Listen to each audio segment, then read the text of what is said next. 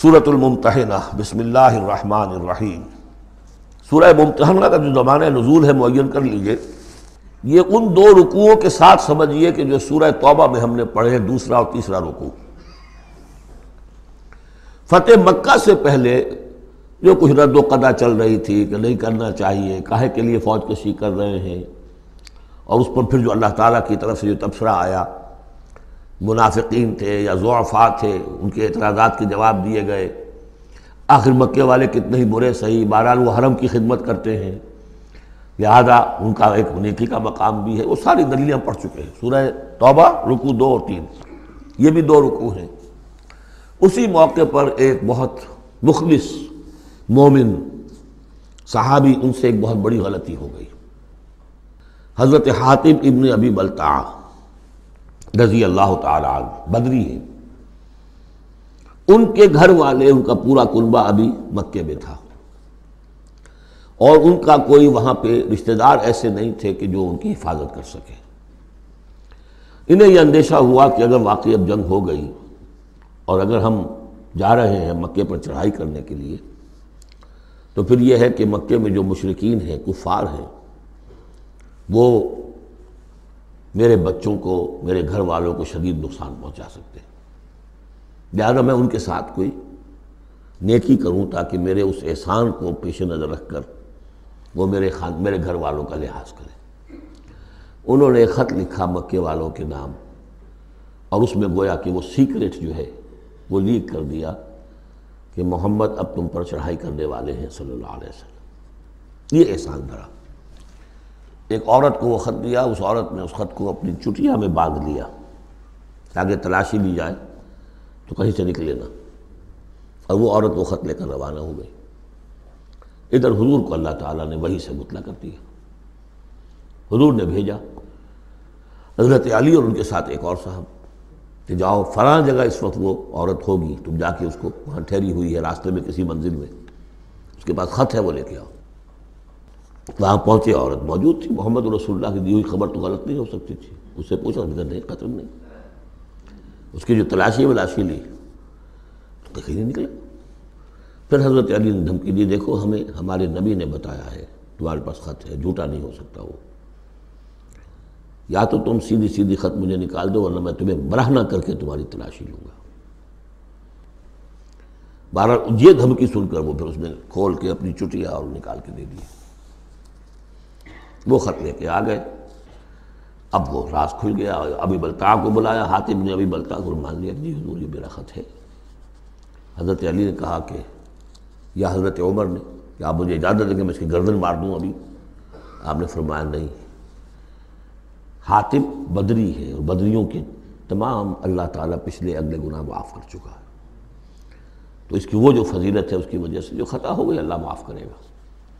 تو وہ ہے اصل میں کشاکش پس منظر میں جس میں کہ یہ صورت نازل ہو رہی ہے۔ یا الذین آمنوا لا تتخذوا عدوی وعدوکم اولیاء۔ اہل ایمان، تم میرے اور اپنے دشمنوں کو اپنا دوست اور ولی نہ بناؤ۔ ان کی خیر خواہی، ان کی بھلائی، ان پہ احسان کرنے کی کوشش۔ ان کے ساتھ اپنے گڈ آفیسز بلڈ کرنے کی کوشش۔ تلقون الیہم بالمودت۔ تم ان پر ان کی طرف رجوع کرتے ہو، بھیجتے ہو پیغام دوستی کے، خلوص و اخلاص کے۔ وقت کفر بما جاءک من الحق۔ حالانکہ انہوں نے کفر کیا ہے، انکار کیا ہے، اس حق کا جو تمہارے پاس آیا ہے۔ یخرجون الرسول و ایاکم۔ وہی ہے جو نکالتے ہیں یعنی جنہوں نے نکالا ہے، رسول کو صلی اللہ علیہ وسلم، تمہیں بھی نکالا ہے۔ انتو منو باللہ ربکم۔ صرف اس جرم کی پاداش میں کہ تم ایمان رکھتے ہو اللہ پر، اپنے رب پر۔ ان کن تم خرج تم جہاد فی سبیلی۔ اگر تو تم نکلے تھے مکے سے اور تم نے ہجرت کی تھی اس لیے کہ میری راہ میں جہاد کرو گے، تو یہ طرز عمل تو پھر اس کے منافی ہے۔ وبتغاء مرداتی اور میری رضا جوئی کے لیے تم نکلے تھے۔ تو سرون الہم بالمودہ۔ تم خفیہ پیغامات بھیجتے ہو ان کو۔ دوستی کے، احسان کے مبنی وہ عالم و بما اخفے تم تم نے خفیہ پیغام بھیجا، میں تو خوب جانتا ہوں جسے تم چھپاتے ہو۔ وما عالم تم جسے تم ظاہر کرتے ہو۔ ومن یفعلہ منکم فقط ضل سوا سبیل جو کوئی بھی تم میں سے یہ کام کرے گا، وہ تو پھر سیدھے راستے سے بھٹک گیا۔ یہ ایک آیت ہے، اب تک نوٹ کر لیجیے مدنی صورتوں کا جو مزاج ہے یا ایھا الذین آمنوا لا تتخذوا عدوی وعدوکم اولیاء تلقون الیہم بالمودۃ وقد کفروا بما جاءکم من الحق یخرجون الرسول وایاکم ان تؤمنوا باللہ ربکم ان کنتم خرجتم جہادا فی سبیلی وابتغاء مرضاتی تسرون الیہم بالمودۃ وانا عالم بما اخفیتم وما اعلنتم ومن يفعله منکم فقد ضل سواء السبیل ان یسقفوکم یکونوا لکم اعداء اگر وہ کہیں تمہیں پالیں یعنی تم ان کے ہاتھ لگ جاؤ ہتے چڑھ جاؤ وہ تمہارے ساتھ دشمنی کریں گے۔ وہ اب سو تو الہم ایدیا ہوں اپنے ہاتھ بڑھائیں گے تمہاری طرف۔ والسنت ہوں اور اپنی زبانیں بسوم برے ارادے کے ساتھ۔ تمہیں نقصان پہنچائیں گے۔ ان کی زبانیں بھی، ان کے ہاتھ بھی۔ وہ بدو لو تک فرون اور ان کی خواہش ہوگی شدید کہ کسی طرح تم بھی دوبارہ کافر ہو جاؤ۔ لن تنفاکم ارحامکم تمہیں ہرگز نفع نہیں پہنچائیں گے تمہارے رحمی رشتے۔ ولا اولادکم نہ تمہاری اولادیں۔ یوم القیامہ، قیامت کے دن یفصل بینکم، اللہ فیصلہ کر دے گا تمہارے ماں بہن۔ واللہ بما تعملون بصیر۔ اور جو کچھ تم کر رہے ہو، اللہ اسے دیکھ رہا ہے۔ قد کانت لکم اسوت حسنت فی ابراہیم والذین معاہو تمہارے لیے ایک اچھا نمونہ ہے، بہت عمدہ ماڈل ہے، اسوہ حسنہ ہے۔ فی ابراہیم والذین معاہو ابراہیم اور ان کے ساتھیوں کے معاملے میں، ان کی شخصیتوں کی صورت میں۔ اس قالول قوم جبکہ انہوں نے کہا، اپنی قوم سے برملا کہہ دیا، انا براؤ منکم، ہم بڑی ہیں تم سے، وَمِمَّا تَعْبُدُونَ مِن دُونِ اللَّهِ اور جن کو بھی تم پوج رہے ہو اللہ کے سوا، ہمارا ان سے کوئی رشتہ نہیں، کوئی تعلق نہیں۔ ہم اعلان اعلان برات کر رہے ہیں ان سے۔ کفرنا بکم ہم منکر ہوئے تم سے بھی۔ وَبَدَا بَيْنَنَا وَبَيْنَكُمُ الْعَدَاوَةُ وَالْبَغْضَاءُ ابدا۔ اور اب تمہارے اور ہمارے مابین عداوت اور بغض اور بیر شروع ہو چکا ہے، اب یہ ہمیشہ باقی رہے گا، حتیٰ تو منو بلّہ وحدہ، جب تک کہ تم ایمان نہ لاؤ اللہ پر توحید کے ساتھ۔ یعنی جب تک اس طرح لنگی تلوار نہ بن جائے ایک مومن، حزب اللہ کو لنگی تلوار بننا پڑتا ہے، رشتوں کو کاٹنا پڑتا ہے۔ بلاؤ کانو آبا ہوں او ابنا ہوں او اخوان ہوں او اشیرت ہوں سورہ مجادلہ میں پڑھا ہے ابھی۔ تو یہ حضرت ابراہیم علیہ السلام کا معاملہ۔ اللہ قول ابراہیم علیہ ابی لک۔ سوائے اس کے کہ ابراہیم نے ایک وعدہ کیا تھا اپنے باپ سے کہ میں آپ کے لیے ضرور استغفار کروں گا۔ یہ سورہ مریم میں ہم پڑھا ہے۔ جب اس نے کہا تھا کہ تم نکل جاؤ وہ جرنی ملیہ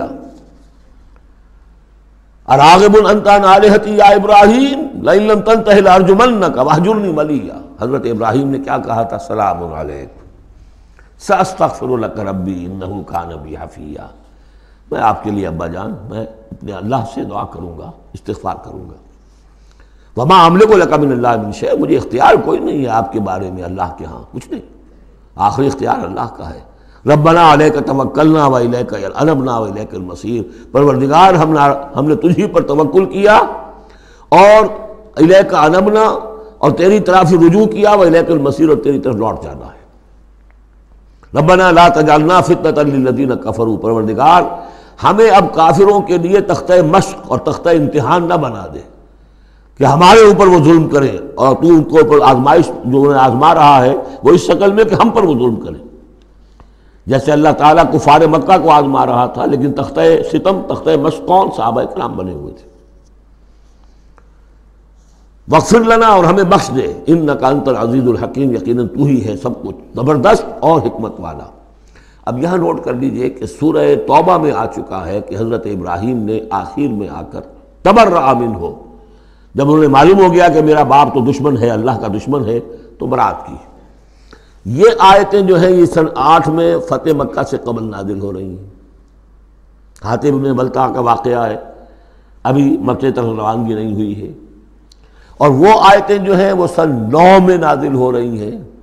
اس کے بھی ذی قادہ کے بھی بعد جبکہ واپس آ گئے حضور صلی اللہ علیہ وسلم تبوک سے۔ لہذا وہ ہوگی محکم۔ اور یہ بات جو ہے اس کے پہلے یہ گویا کتابیں رہے گی۔ نقد کان لکم فیہم اسوت الحسنت تمہارے لیے یقیناً ان کی ذات میں، ان کے رویے میں، ان کے طرز عمل میں ایک اچھا نمونہ ہے۔ لمن کان یرج اللہ والیوم الاخر۔ لیکن کس کے لیے؟ کہ جو اللہ کی بھی امید، ملاقات کی امید رکھتے ہوں اور یوم آخر سے ڈرتے ہوں بالکل یہی الفاظ وہاں آئے تھے۔ لقد کان لکم فی رسول اللہ عصوت الحقنۃ لمن کان یرج اللہ والیوم الاخرہ وذکر اللہ کثیرا۔ یہ سورہ احزاب میں ہم پڑھ چکے ہیں۔ حضور کی شخصیت، آپ کی سیرت اس وقت کاملہ ہے، لیکن فائدہ کون اٹھائیں گے؟ فائدہ صرف وہی اٹھا سکیں گے کہ جو اللہ پر بھی ایمان رکھتے ہوں، آخرت پر بھی ایمان رکھتے ہوں اور کثرت کے ساتھ اللہ کا ذکر کرتے ہوں۔ اسی طریقے سے یہاں لقت کان لکم فیہم عصوت الحسنۃ لمن کان یرج اللہ والیوم الاخرہ ومن یتولی فإن اللہ هو الغنی الحمید اور جو منہ پھیر لے، پیٹھ موڑ لے، اللہ غنی ہے، حمید ہے، اللہ کو کسی کی پرواہ نہیں، کوئی احتیاج نہیں۔ اب آخری مسئلہ آ رہا ہے، خاص طور پر بعض خواتین کا۔ ہوا یہ تھا کہ صلح حدیبیہ میں طے ہو گیا تھا، جو سن چھ میں ہوئی۔ کہ مکے سے اگر کوئی مسلمان بھاگ کر جائے گا مدینے تو آپ کو واپس کرنا ہوگا۔ اور مدینے سے اگر کوئی مسلمان مرتد ہو کر واپس آئے مکے تو ہم واپس نہیں کریں گے۔ یہ شرط تھی اور شرط مان لی تھی حضور نے۔ اس کے بعد معاملہ پیش آ گیا چند خواتین کا۔ اب ظاہر بات ہے کہ اب خواتین جو ہیں، ان میں سے کوئی مدینے آ گئی۔ مطالبہ ہوا ان کا واپس کریں۔ جو مسلمان تھی، ایمان لے آئی تھی۔ حضور نے فرمایا نہیں، وہ مردوں پر بحث تھی ساری۔ گفتگو جو ہوئی تھی، وہ رجال سے متعلق تھی، نساء کی نہیں۔ لہذا ان کو واپس نہیں کیا جائے گا اور نہیں کیا گیا۔ لیکن یہ کہ اب جو وہاں سے خواتین آ رہی ہیں، کہہ رہی ہیں کہ ہم تو صاحب ایمان ہیں، اس لیے ہم ہجرت کر کے مکے سے آ گئی ہیں یہاں۔ اندیشہ یہ تھا کہ ان میں کہیں جاسوس نہ آ رہے ہوں۔ مکے والے جو ہیں، ان کے ذریعے سے کچھ کینڈلائز نہ کریں ہماری سوسائٹی کو۔ کچھ کہہ نہیں سکتے۔ لہذا ان کا معاملہ کیا کیا جائے؟ پھر یہ کہ ان کے شوہر تو وہاں ہیں، شادی تو وہاں ہوئی ہوئی ہے ان کی۔ تو آیا یہ اب یہاں مسلمانوں کے لیے حلال ہے اس درجے میں کہ وہ ان سے نکاح کر سکیں۔ یا وہ رشتہ برقرار رہے گا، کافر جو ہے، ان کی بیویاں، یہ مسلمان ہو گئی یہ آ گئیں۔ تو یہ مسائل تھے خواتین کے کہ جن کو اس رقوع میں، سورہ ممتحنہ کے، اور آخر میں پھر خواتین کی بیعت کا تذکرہ ہے اس میں۔ اور یہ میں سمجھتا ہوں کہ اللہ تعالیٰ کی طرف سے کمپنسیشن ہوتی ہے۔ جیسا کہ میں نے بتایا تھا کہ باپ اور ماں میں فرق یہ رکھا گیا، قانونی طور پر باپ کا پرڑا بھاری ہے۔ باپ طلاق دے سکتا ہے، ماں کو، ماں تو کھلا ہی لے سکتی ہے، طلاق دے نہیں سکتی۔ اور اگر طلاق ہو جائے گی تو اولاد باپ کی شمار ہوگی، ماں کی نہیں۔ یہ قرآن کا قانون ہے۔ لیکن دوسری طرف ماں کی خدمت تین درجے زیادہ ضروری ہے باپ سے۔ خدمت میں تین درجے فائد رکھ دیا ماں کو۔ اور کہا کہ جنت اس کے قدموں تلے تو کمپنسیشن ہوتی ہے، کسی ایک جگہ پر کمی ہے تو دوسری جگہ اس کو، اسی کا نام بیلنس ہے۔ یہ ترازو کے یہ دونوں جو ہیں، اگر بازو جو ہیں، یہ برابر ہے، تو ایک سیر ادھر ڈالیں گے، ایک سیر ادھر ڈالیں گے، ترازو کی ڈنڈی سیدھی رہے گی۔ ایک چھوٹا ہے، ایک بڑا ہے۔ تو چھوٹے میں اب زیادہ ڈالنا پڑے گا اور بڑے میں کم، تب وہ، تو یہ بیلنس تو تب ہوگا کہ وہ جو کمی ہے، اس کو پیش نظر رکھیں۔ یہ ہے معاملہ کہ جو یہاں پہ بیان ہوا۔ وہ بیلنس کیا کیا اللہ تعالیٰ نے مردوں کی بیعت کا قرآن میں ذکر ہے۔ اس کا متن قرآن میں کہیں نہیں ہے۔ بیعت اقبا اولا کا کیا متن تھا؟ بیعت اقبا ثانیہ کا متن کیا تھا؟ کیا بیعت لی تھی؟ کیا الفاظ تھے؟ بیعت رضوان کے موقع پہ کیا؟ کیا جو الفاظ کا تھے؟ کہیں نہیں، قرآن میں نہیں۔ احادیث میں مل جائیں گے۔ خواتین کی بیعت کو یہ فضیلت دے دی کہ اس کا پورا متن بھی قرآن مجید میں موجود ہے۔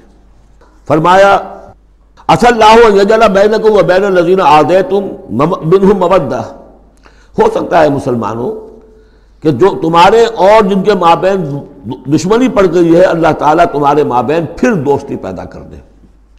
کیسے پیدا کر دے؟ وہ ایمان لے آئے تو اخوانوں کو الدین۔ اور کوئی زیادہ دور تو نہیں تھا اب مرحلہ۔ فتح مکہ کے بعد سن نو میں وہ آیات آئیں کہ چار مہینے کی یہ مہلت ہے، اس میں ایمان نہیں لاؤ گے۔ تو گردنیں اڑا دی جائیں گی، سب کے سب لوگ ایمان لے آئے، تو اب ہو گئے، بھائی اخوان کو فدین اصل اللہ یجل بینکم و بین الذین عادیتم منہم مودتا، واللہ قدیر، واللہ غفور الرحیم، اللہ ہر شے پر قادر ہے اور غفور ہے اور رحیم ہے۔ لا ینہاکم اللہ عن الذین لم یقاتلوکم۔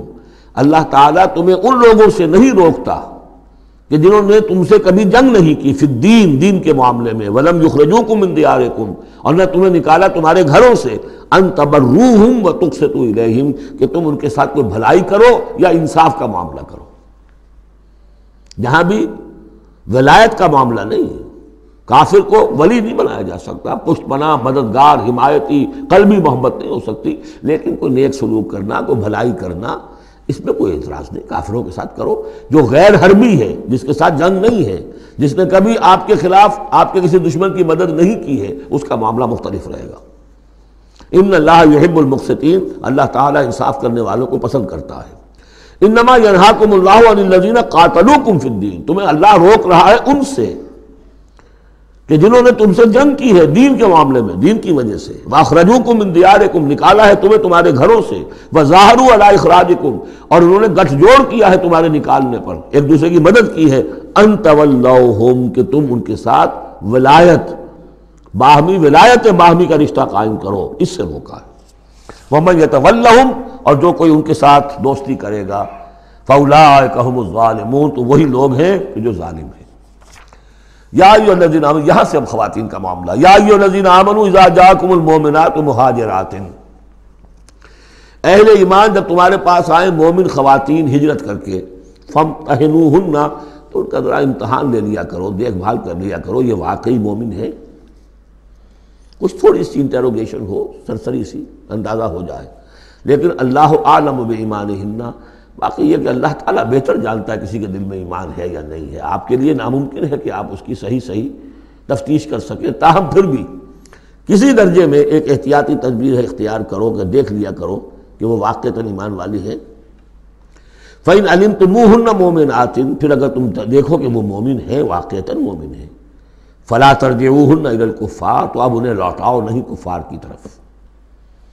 لاہن ہل الحم نہ وہ اب ان کافروں کے لیے حلال رہی ہیں ولا ہم یا ہلو نہ نہ وہ ان کے لیے حلال ہے۔ آتو ہم مان فکو جو کچھ انہوں نے خرچ کیا تھا، مہر دیا تھا، وہ لوٹا دو، یہاں سے دے دو، بھجوا دو۔ فلاں کافر، اس کی بیوی مسلمان ہو گئی، یہاں آ گئی ہے۔ اب یہاں تعلق ہے ازدواج ختم ہوا، جو مہر تم نے دیا تھا، وہ واپس کر رہے ہیں۔ دیکھیے، یہ ہے عدل و انصاف۔ جیسے کہ حضرت خالد ابن ولید نے ایک موقع پر جبکہ شام کے محاذ پر ذرا پیچھے ہٹنا پڑا غالب ابو عبیدہ کا معاملہ تھا رضی اللہ تعالیٰ عنہما۔ تو ایک شہر جس سے کہ جزیہ لے لیا گیا تھا، پھر چونکہ وہاں سے پسپائی جو ہے ٹیکٹیکل موو کے طور پر وہاں سے پیچھے ہٹنا پڑا، تو وہ سارا جزیہ واپس کر دیا۔ ہم جا رہے ہیں، اب آپ لوگوں کی حفاظت کا ذمہ ہم نہیں لے سکتے۔ ذمہ کا مطلب ہے، ہمیں آپ کی حفاظت کی ذمہ داری پوری کرنی تھی۔ نہیں کر سکتے، یہ رقم واپس۔ اور دھاڑے مار مار کر وہ روئے کہ یہ لوگ فرشتہ لوگ یہ جا رہے ہیں ہمیں چھوڑ کر۔ تو یہاں بھی کہا جا رہا ہے کہ وہ کافر ہیں، لیکن یہ کہ ان کے جو انہوں نے مہر وغیرہ دیا ہوا ہے مسلمان عورتوں کا واپس کر لوٹا دو۔ بلا جناح علیکم ان تنکحوہن اذا آتے تمہن اجورہن اور اے مسلمانوں، تم پر کوئی حرج نہیں ہے، کوئی گناہ نہیں ہے کہ تم اب ان خواتین سے نکاح کر لو جبکہ تم انہیں ان کے مہر ادا کر دو۔ بلا تم سے وہ بے عصم القوافر اور اگر تمہاری بیویاں وہاں ہیں، کوئی رہ گئی ہیں ابھی کفر پہ ہیں، تو تم بھی ان کے ناموس کو اپنے قبضے میں نہ رکھو یعنی انہیں طلاق دے دو، انہیں فارغ کر دو کہ ہمارا تم سے کوئی تعلق نہیں۔ بس علومان فختم اور ان سے مانگ لو جو بھی تم نے ان کو دیا تھا، مہر کے طور پر۔ جب ہمارے اور تمہارے درمیان وہ رشتہ ختم ہوا، میرا مہر واپس کرو۔ بل یس علومان فکو جو انہوں نے خرچ کیا تھا، وہ مانگ لیں جو یہاں مسلمان عورتیں آ گئی ہیں، ان کا مہر لوٹا دیا جائے۔ ذالکم حکم اللہ یحکم بینکم، یہ اللہ کا حکم ہے اور اللہ تمہارے مابین فیصلہ کر رہا ہے۔ واللہ علیم الحکیم، اللہ سب کو جاننے والا ہے، کمال حکمت والا۔ وَإِن فَاتَكُمْ شَيْءٌ مِّنْ أَزْوَاجِكُمْ، اور اگر کوئی چیز جاتی رہے تمہارے ہاتھ سے تمہاری بیویوں کے معاملے میں یعنی مسلمان مرد ہجرت کر کے آ گیا، بیوی اس کی وہاں پر ہے اور وہ کافرہ ہے مشرقہ ہے، اور اس سے وہ کہتا ہے، میرا مہر واپس کرو، وہ نہیں کرتی۔ وہ مہر واپس نہیں کر رہی، اسے یہاں پہ نکاح کرنے کے لیے مہر ادا کرنا پڑے گا، اس کے پاس پیسے نہیں۔ اس مسئلے کا حل بتایا۔ وہ انفاط شعیب میں نظواج تمہارے کچھ لوگوں کی طرف سے اگر انہیں یہ نقصان پہنچ جائے کہ انہیں وہ مہر واپس نہ ملے۔ فعاقب تم ادھر کفار یہ کفار کے ہاں رہ گیا، وہ نہیں دے رہے تم مہر۔ فعاقب تم پھر اگر کہیں تمہارا ہاتھ پڑ جائے، کہیں کسی جگہ تمہیں فتح مل جائے، کہیں سے تمہیں مال غنیمت یا مال فہ ہاتھ آ جائے فعت الزین ذہبت ازواج تو ان لوگوں کو کچھ دے دلا دو کہ جن کی بیویاں جاتی رہیں اس کفر اور اسلام کی وجہ سے، رشتہ جو جو کٹ گیا ہے۔ تاکہ اب وہ اپنی اس رقم سے جو انہیں دی جا رہی ہے، وہ یہاں نکاح کر سکیں اور جو خواتین وہاں سے آ رہی ہیں، جن کا کہ حکم دے دیا گیا کہ یہاں سے ان کے مہر واپس کر دو، تو اب ان سے وہ نکاح کریں گے، تو مہر دیں گے، تو تب ہوگا نا۔ فعت الزین ذہبت ازواجہم اسلمہ انفقو وطق اللہ الزی التم بھی مومنون، اور اس اللہ کا تقوی اختیار کرو جس کو جس پر کہ تمہارا ایمان ہے۔ یا ایوہ النبی، اے نبی صلی اللہ علیہ وسلم، اذا جا کل مومنات و یبایعنا کا جب آپ کے پاس آئے مومن خواتین، آپ سے بیعت کرتی ہوئی اللہ اللہ یشرکن باللہ شیئن پہلی شک یہ ہے کہ وہ عہد کریں کہ وہ اللہ کے ساتھ کسی شے کو شریک نہیں کرے گی ولا یسرقنا، دوسری یہ کہ چوری نہیں کریں گی، ولا یزنینا، کوئی بدکاری نہیں کریں گی، ولا یقتلنا اولاد ہننا اپنی اولاد کو قتل نہیں کریں گی، ولا یاتینہ بے بہتان یفترین ہو بین عیدی ہن وارجل اور نہ ہی وہ کوئی ایسا طوفان باندھیں گی، کوئی بہتان لگائیں گی جو ان کے ہاتھوں اور پاؤں کے مابین سے ہو سیکسول سکینڈلز کوئی عورت جو تہمت لگا دے کسی کے اوپر، اس نے میری آبرو ریزی کی ہے، یا اس نے کسی اور اعتبار سے تو یہ چیزیں بھی نہیں اور یہ ہوتا رہا ہے، انبیاء تک کے ساتھ ہوا ہے۔ ولا یاسین کفی معروف۔ اور آخری بات یہ، اس بیعت کے اندر کہ جو بھی آپ بھلی بات ان سے کہیں گے، اس کے اندر آپ کی نافرمانی نہیں کریں گے۔ یہ ہے آرٹیکلز آف بیع خواتین کے لیے۔ فبا یہ ہن تو اے نبی، ان کی بیعت قبول کر لیجیے، انہیں بیعت کر لیجیے اپنے سے۔ مستغفر لہن اللہ اور ان کے ساتھ ان کے لیے اللہ تعالیٰ سے استغفار کیجیے ان اللہ غفور الرحیم یقین اللہ غفور الرحیم ہے۔ اب یہاں نوٹ کر لیجیے کہ جو بیت بردوں سے لی گئی بیت اقبا ثانیہ بیت اقبا اولا جو تھی، وہ تقریباً یہی تھی۔ اسی لیے اس کو بیت النساء بھی کہتے ہیں، پہلی بیت ابھی جو ہے وہ کوئی ایسی شکل سامنے نہیں تھی کہ کوئی جماعتی تشکیل ہو رہی ہو، جماعت بنانی ہو۔ اور ہمارے ہاں جو بھی صوفیہ ہیں جو بیت لیتے ہیں، وہ بھی تقریباً اسی کو دلیل بناتے ہیں۔ بیت اقبا اولا اور بیت النساء۔ وہ اسی بات کا عہد لیتے ہیں، شرک نہیں کروں گا، یہ نہیں کروں گا، چوری نہیں کروں گا، نیکی کے کام کروں گا، وغیرہ وغیرہ۔ تو صوفیہ کی بیت، خواتین کی بیت اور بیت اقبا اولا تقریباً یہ ہے۔ لیکن وہ بیت جس سے کہ جماعتی زندگی وجود میں آئی، وہ بیت اقبا ثانیہ ہے۔ حضرت عبادہ ابن ثابت رضی اللہ تعالیٰ عنہ سے اس کی پورا اس کا ٹیکسٹ جو ہے وہ موجود ہے متفق علیہ حدیث ہے جس کو بخاری میں بھی ہے، مسلم میں بھی ہے۔ بایانہ رسول اللہ صلی اللہ علیہ وسلم، وہ فرماتے ہم نے بیعت کی تھی اللہ کے رسول سے صلی اللہ علیہ وسلم۔ اللہ و طاعت آپ کا ہر حکم سنیں گے، اطاعت کریں گے۔ فل اسرے تنگی اور مشکل میں بھی ول یسرے اور آسانی میں بھی۔ ول اس حالت میں بھی کہ ہماری طبیعتوں میں انشراح ہو کہ ہاں یہ کام واقع بہت مفید ہے، صحیح ہے۔ بل مک رہے۔ اور اس حالت میں بھی کہ ہمارے ہمیں اپنی طبیعتوں پر جبر کرنا پڑے، ہمیں اس فیصلے کے ساتھ اتفاق نہ ہو۔ اعلیٰ اثرت علینا اور اس کے باوجود کہ دوسروں کو ہم پر ترجیح دے دی جائے۔ ترجیح دے دی جائے کس بات میں؟ آپ امیر بنا رہے ہیں فلاں شخص کو، یہ تو ابھی نوبارد ہے، ابھی آیا ہے، ابھی شامل ہوا ہم میں، اور ہم پرانے آپ کے ساتھی ہیں۔ نہیں۔ پرینوگیٹو ہے یہ آپ کا جس کو چاہیں امیر بنائیں وعلا اللہ نزال الامر اہلہ جنہیں آپ ذمہ دار بنائیں گے ان سے ہم جھگڑیں گے نہیں۔ ان سے لڑیں گے نہیں۔ ان کی اطاعت کریں گے۔ من اطاعنی فقط اطاع اللہ، ومن عصانی فقط عص اللہ۔ ومن اطاع امیری فقط اطاعنی ومن عصا امیری فقط عصانی وعلا نقول بالحق اینما کننا آخری شک یہ کہ ہم حق بات ضرور کہیں گے جہاں کہیں بھی ہوں گے۔ لا نخاف فی اللہ لومت العین۔ ہم کسی ملامت کرنے والے کی ملامت کے خوف سے اپنی زبان بند نہیں کریں۔ یہ بیعت اقبا ثانیہ جو ہے، اس کو ہم نے تنظیم اسلامی میں اختیار کیا، ایک لفظ کا اضافہ کیا۔ ابایوں کا السمع فی المعروف۔ حضور کی اطاعت مطلق تھی، جو حکم دیں گے۔ غلط دے نہیں سکتے، معصوم ہے حضور کے بعد ابو بکر کی بیعت بھی مطلق نہیں تھی۔ مقید ہے، مشروط ہے، کتاب و سنت کے دائرے کے اندر اندر۔ یہ بیعت ہے چونکہ اس کے بعد حضور نے پہلی مرتبہ ایک تنظیمی ڈھانچہ قائم کیا کہ مدینے میں آپ نے بارہ نقیب مقرر کر دیے۔ یہ تنظیمی شکل پہلی مرتبہ ہو رہی ہے آپ کی آپ کی سیرت کے اندر۔ مکے میں تو چونکہ آپ خود موجود ہیں اور سب صحابہ وہیں ہیں، چھوٹا سا شہر ہے، تو کسی تنظیمی سانچے کی اور ڈھانچے کی اور لمبی چوڑی چین جو ہے بنانے کی ضرورت ہی نہیں۔ اب مدینہ دور ہے، وہاں کے کچھ لوگ نو خدرج میں سے اور تین اوس میں سے آپ نے نقیب بنائے۔ اب ان کی ذمہ داری بنی۔ اس طرح جماعتی تنظیم جو بنی ہے، وہ اس بیت پر بنی ہے۔ البتہ چونکہ خواتین کا معاملہ یہ ہے کہ جماعتی جد و جہد جو آگے چلنی ہے، اس میں جہاد اور قتال کے جو مراحل آنے ہیں، اس میں خواتین کا حصہ بالواسطہ ہے، بلا واسطہ نہیں ہے، ڈائریکٹ نہیں ہے۔ وہ بیعت ان سے نہیں دی گئی، بلکہ یہی بیعت لی گئی ہے کہ اس کے اندر یہ یہ افعال ہیں یہ نہیں کریں گے۔ اور یہ کہ ہاں, ہاں، جو امیر ہیں حضور صلی اللہ علیہ وسلم جو بھی حکم دیں گے جو بلائی کا حکم ہوگا اس میں ان کی نافرمانی نہیں کریں گے۔ اس کو ہم نے تنظیم میں خواتین کی بیعت کے لیے بین ہی یہی الفاظ اختیار کیے۔ اور واقعہ یہ کہ اس کا بہت ایک اہم پہلو یہ ہے کہ چاہے خواتین کو وہ دوسرے کام نہیں کرنے جو بردوں والے ہیں جنگ میں جانا ہے یا کوئی اور مسئلہ ہے لیکن ایک سینس آف بلونگنگ ہو جاتی ہے کہ ایک گروہ کے ساتھ ہونا۔ کونو ما صادقین کوئی ہے جس کے ساتھ آپ نے اپنے آپ کو آئیڈینٹیفائی کیا۔ جماعتی زندگی ہے اور اس کے تحت ایک کام ہو رہا ہے، اس کی برکتیں جو ہیں، جو آپ نے فرمایا گیا، جو حضور نے فرمایا۔ یہ حضرت عمر کا قول ہے، اثر ہے۔ لا اسلام اللہ بالجماع ولا جماع اللہ بالامارہ۔ ولا امارہ اللہ بالسماع ولا سماع اللہ بالطاعہ۔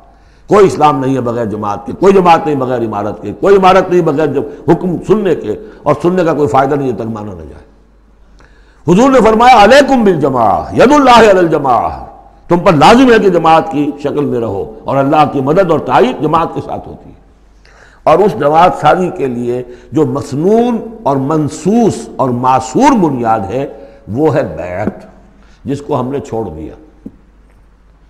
دوسرے طریقے جو ہے جماعت سازی کے دستور ہو، دستور کے مطابق پھر قوانین ہو بائی لاز ہو یہ بھی حرام نہیں ہے، یہ بھی مباح ہے۔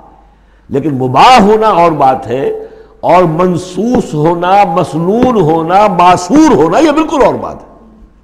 زمین و آسمان کا فرق ہے۔ بہرحال ہم نے تنظیم اسلامی میں اس بیت ہی کے نظام کو اختیار کیا۔ اللہ کا شکر ہے کہ جو ایک انسٹیٹیوشن اسلام کا بالکل ختم ہو گیا تھا۔ ڈیڈ مطلوب، ہم نے اسے زندہ کیا ہے۔ آخری آیت ہے، یا ایوہ الذین آمنوا لا تتولوا قوما غضب اللہ علیہ اہل ایمان اس ان لوگوں کے ساتھ دوستی نہ کرو جن پر اللہ کا غضب ہے۔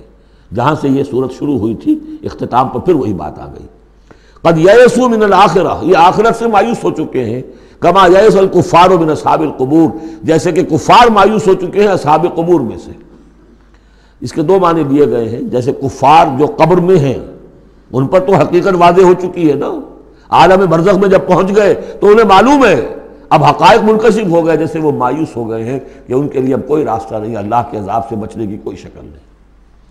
یا یہ کہ جیسے یہ کفار مایوس ہو گئے ہیں کہ جو قبر میں چلا گیا، اس کا کوئی باس بادل موت نہیں ہے اس کو دوبارہ اٹھا جانا نہیں ہے۔ دونوں امکانات، دونوں ترجمے کیے گئے ہیں۔ تو تم ان لوگوں کی طرح نہ ہو جاؤ۔ تو مایوس ہو چکے ہیں، یہ لوگ اللہ کی رحمت سے، یہ لوگ جو ہیں، یہ جو یہودی ہیں، اور ان کے ساتھ تمہاری دوستی دوست نہیں ہے۔